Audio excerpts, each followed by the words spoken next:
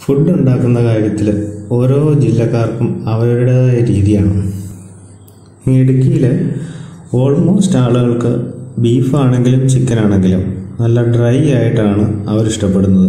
ഞാനും ഒരു ഇടുക്കിക്കാരനാണ്. എനിക്കത് തന്നെയാണ് ഇഷ്ടം.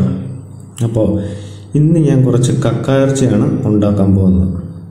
അപ്പോൾ കക്കായിറച്ചി നല്ല വെളുത്തുള്ളിയും അതുപോലെ കുരുമുളകും ഇഞ്ചിയൊക്കെ ഇട്ട് നല്ല സ്പൈസി ആയിട്ട് ഉണ്ടാക്കണം അപ്പോൾ ഇന്ന് നമ്മുടെ പരിപാടി കുറച്ച് കക്കായിറച്ചി ഉണ്ടാക്കുക എന്നുള്ളതാണ്. അപ്പം ഞാൻ അതിന് വേണ്ടിയിട്ട് ഒരു കിലോ കക്കായിറച്ചി മേടിച്ച് ക്ലീൻ ചെയ്ത് വെച്ചിട്ടുണ്ട്. ഇത് ക്ലീൻ ചെയ്യുന്നത് അത്ര എളുപ്പമുള്ള കാര്യമല്ല. അപ്പോൾ എന്താണ് ക്ലീൻ ചെയ്തെടുത്തു? ആദ്യം തന്നെ നമ്മൾ ഒരു സ്പൂൺ മഞ്ഞൾപ്പൊടി ഇട്ട് അതിലോട്ട് ഒരു ഗ്ലാസ് വെള്ളം ഒഴിച്ച് ഇത് നമുക്കൊന്ന് വേവിച്ചെടുക്കാം ആദ്യം. അപ്പോൾ അത് വെന്ത് വരുന്ന സമയം കൊണ്ട് നമുക്ക് ബാക്കിയുള്ള പരിപാടികളൊക്കെ തീർത്തു നോക്കാം. അപ്പോൾ മഞ്ഞപ്പൊടിയും വെള്ളം ഒഴിച്ച് ഞാൻ ഈ കക്കാറച്ചി മൂടി വെക്കുന്നുണ്ട്. പിന്നെ ഒരു കറിവേപ്പിലയും കൂടി ഇട്ട് മൂടി വെച്ച് സ്ലോ ഫയറിൽ നമുക്കിത് വേവിച്ചെടുക്കാം. അപ്പോൾ ഇവിടെ ഞാൻ ചില സാധനങ്ങളൊക്കെ കട്ട് ചെയ്ത് വെച്ചിട്ടുണ്ട്. ഇവിടെ കുറച്ച് വെളുത്തുള്ളിയുണ്ട് പിന്നെ കുറച്ച് ഇഞ്ചി. പിന്നെ വളരെ കുറച്ച് മുളക് പൊടി എടുത്തിട്ടുള്ളൂ. പിന്നെ ഒരു രണ്ട് ടീസ്പൂൺ മല്ലിപ്പൊടി ഗ്രീൻ ചില്ലിയുണ്ട് ഓണിയൻ ഉണ്ട് കുരുമുളകും ഉണ്ട്. അപ്പോൾ കുരുമുളക് ഉള്ളതുകൊണ്ടാണ് ഞാൻ മുളക് പൊടി വളരെ കുറച്ചെടുത്തിരിക്കുന്നത് നമുക്ക് കക്കാർച്ചി വെന്തോ എന്നൊന്ന് പൊക്കി നോക്കാം. അപ്പോൾ വെള്ളം വറ്റിയിട്ടില്ല. ഇനിയും ഒരു പത്ത് മിനിറ്റും കൂടെ ഇരിക്കേണ്ടി വരും ഈ വെള്ളം വറ്റാൻ. ഈ വെള്ളം വറ്റുമ്പോഴത്തേക്കും ഇത് കറക്റ്റ് പാകത്തിന് വെന്തിട്ടുണ്ടാവും. അപ്പോൾ ഒരു പത്ത് മിനിറ്റ് കഴിഞ്ഞ് നമുക്ക് ഇത് ഒന്നും കൂടെ ഒന്ന് നോക്കാം. ഓക്കെ ഇപ്പോൾ വെള്ളമെല്ലാം പറ്റിയിട്ടുണ്ട് പാകത്തിന് വെന്തിട്ടുണ്ട്. ജസ്റ്റ് ഒന്ന് ഇളക്കി കൊടുക്കാം. ഇനി എവിടെയെങ്കിലും കുറച്ച് വെള്ളം എന്തെങ്കിലും ഉണ്ടെങ്കിൽ അതും കൂടെ ഒന്ന് വറ്റിപ്പോട്ടെ.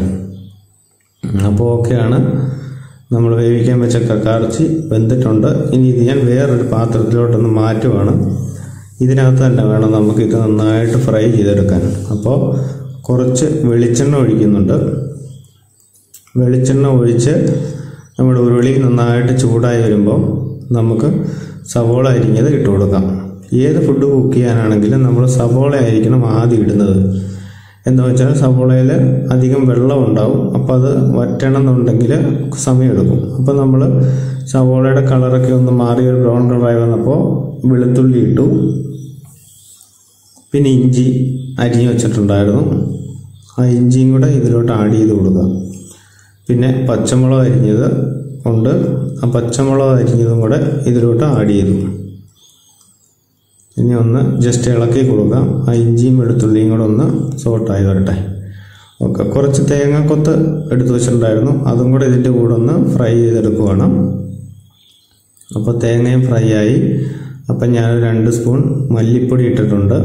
പിന്നെ ഒരു സ്പൂൺ പോലും ഇല്ല മുളക് പൊടി. ഒരു അര സ്പൂൺ മുളക് പൊടി ഇടുന്നുള്ളൂ. കാരണം നമ്മൾ കുരുമുളക് പൊടിയാണ് ഇതിന് മെയിനായിട്ട് ചേർക്കുന്നത്. ആ കുരുമുളകിന്റെ ഫ്ലേവറാണ് നമുക്ക് ഈ കക്കാർച്ചിയിൽ വരുന്നത്. അപ്പോൾ ഒരു കറിവേപ്പിലയും കൂടി ഇട്ടിട്ട് നമുക്കിത് നന്നായിട്ട് മിക്സ് ചെയ്ത് കൊടുക്കാം. അപ്പം നമ്മൾ ഇട്ട ആ പൊടികളൊക്കെ ഒന്ന് മൂത്ത് വരുന്നുണ്ട്. ഇനി നമുക്ക് നമ്മളെടുത്ത് വെച്ച വേവിച്ച കക്കായിറച്ചി ഇതിലോട്ട് ഇട്ട് കൊടുക്കാം.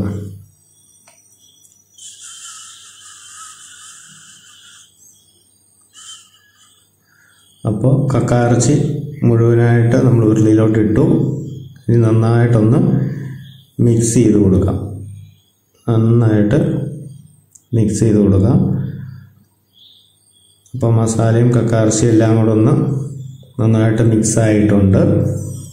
ഇനി ഒരു കുറച്ച് കുരുമുളക് പൊടി നമ്മൾ പൊടിച്ച് വെച്ചതും കൂടെ ഇതിലോട്ട് ഇട്ട് കൊടുക്കുവാണ്. അത് രണ്ട് സ്പൂൺ ഉണ്ടാവും. കുരുമുളക് പൊടിയും ഇട്ട് കൊടുത്ത് നന്നായിട്ടൊന്ന് മിക്സ് ചെയ്യാം. ഇനി ഒരു പത്ത് പന്ത്രണ്ട് മിനിറ്റ് നമുക്ക് ഇതൊന്ന് നന്നായിട്ട് ഇളക്കി ഡ്രൈ ആക്കി കൊടുക്കുക അപ്പോൾ കക്കാർച്ചിയുടെ സൈഡൊക്കെ ഒന്ന് നന്നായിട്ട് മുരിഞ്ഞ് കിട്ടും. അപ്പോൾ ഇനി അവസാനമായിട്ടാണ് ഉപ്പ് ഇട്ട് കൊടുക്കുന്നത്. കുറച്ച് ഉപ്പ് ഇട്ട് കൊടുത്തിട്ടുണ്ട്. ഇനി ഇതൊന്ന് നന്നായിട്ട് മിക്സ് ചെയ്യാം. ഒരു പന്ത്രണ്ട് മിനിറ്റ് പതിനഞ്ച് മിനിറ്റ് ഇളക്കി കഴിയുമ്പോൾ നമുക്കിങ്ങനെ നല്ല ബ്ലാക്ക് കളറിൽ കിട്ടും. തേങ്ങയൊക്കെ നന്നായിട്ട് ഫ്രൈ ആയിട്ടുണ്ട്. ഇനി നമുക്ക് ഇതൊന്ന് ടേസ്റ്റ് ചെയ്ത് നോക്കാം. അപ്പോൾ ഒരു പ്ലേറ്റിലോട്ട് ഇതൊന്ന് എടുത്ത് മാറ്റാം.